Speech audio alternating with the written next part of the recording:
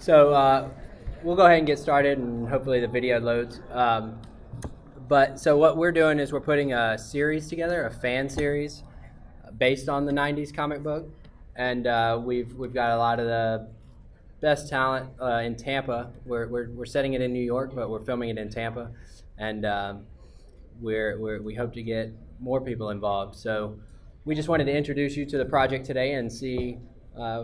Show you a little bit of what we've been working on. And uh, my name is Josh Knopfs. I'm the co-writer and director of Sleepwalker, and this is Joe Bariso, I don't get to introduce myself. also co-writer and director. Um, so we'll introduce you to a little bit of the cast right now. Chris is playing the lead. My name is Chris Cavalier. I'm playing the lead as Rick Sheridan. My name is Lexi Balistrieri, and I play Alyssa Conover, who is a psychology major and Rick's girlfriend. Oh yeah, we have one more cast member to introduce. I think uh, his name's Sleepwalker, and uh, he's played by Sleepwalker himself. This guy's ripped. And you're lucky because uh, he only comes out when Rick sleeps normally, but uh, you know, some miraculous.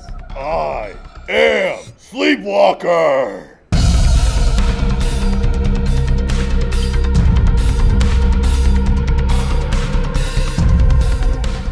Um, so we've, we've been filming. What we're, what we're actually trying to do is we're, we're trying to generate enough excitement for the project to do a series. And the series is going to have a lot of VFX, a lot of big action sequences, and, and great actors and cinematographers and, you know, set designers, all kind of people. We're really trying to hire the best people to do it, and it's, and it's going to cost money. So we're going to do a Kickstarter later this year to try to fund the series.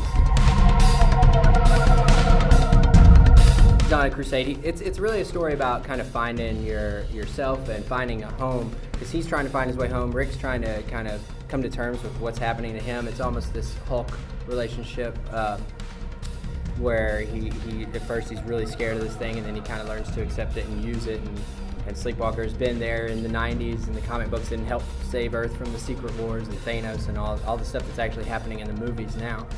Um, so we hope to get him out there in time for that.